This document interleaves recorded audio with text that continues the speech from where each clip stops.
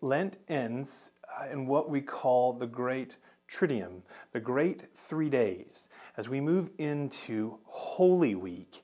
And we, it begins with Palm Sunday, and our time, our, our liturgical calendar starts to move from just the concept of following Christ and general seasons in his life to we walk with him day by day from his entrance into Jerusalem to his to his being hung on the cross to his rising again from the dead. We time slows down, and so day by day we walk in his footsteps to the foot of the cross and to the tomb. It begins with Palm Sunday and it moves then from uh, to Maundy Thursday and we'll have services then as well. We'll talk about what all of that means also.